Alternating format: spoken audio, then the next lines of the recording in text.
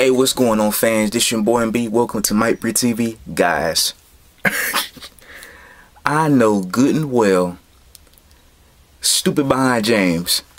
I know good and well this gonna be that video, guys.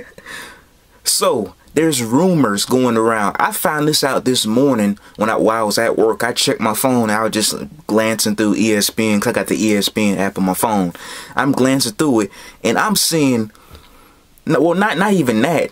But I, I saw on Facebook as well, somebody post posted up if Le, LeBron James, if he's interested, he, he, he would sit down in free agency and talk with the Warriors. And if they clear enough cap space, he can possibly join the Warriors.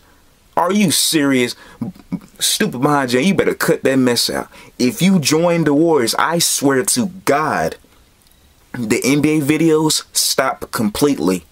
I, I won't do another finals video. I probably won't even. I probably yeah. I probably won't do it during finals video because it might be, even though the Cavaliers are struggling. If they if it's if it's Cavaliers and Warriors this year, I swear I won't do a finals video. I won't do a finals video. I won't never do an NBA video ever again if that happens. His legacy his legacy is already ruined because he, he he left Cleveland the first time and went to Miami and partied with Wade and Bosh. He failed a couple of times and win two win two rings. All, all of a sudden, they lost to the Spurs.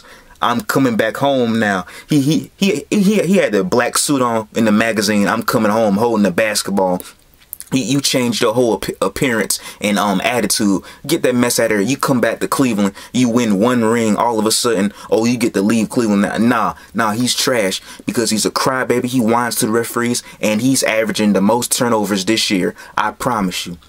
Y'all care about his stats. I look at his attitude and how he plays the game of basketball. Don't care about his stats because he's a stat patter.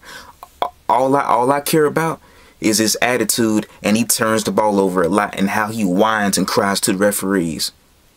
You, you, you taking all of that to Golden State if, if you if you do all that mess. Man, please, I'm not trying to hear it. Your legacy will be ruined even more.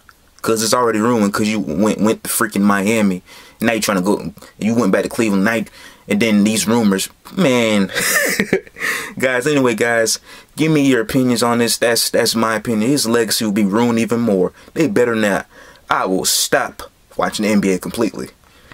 Anyway, guys, I'm out.